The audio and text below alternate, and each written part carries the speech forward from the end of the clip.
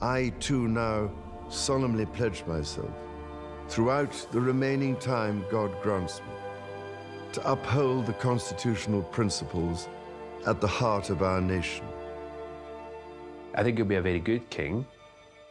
I think he'll be a compassionate king. He cares about the country. Well, I always thought that Charles would make a wonderful king because he cares so much. He cares about his country, he cares about its heritage, he cares about the planet, and he cares about the people. I shall endeavor to serve you with loyalty, respect, and love, as I have throughout my life.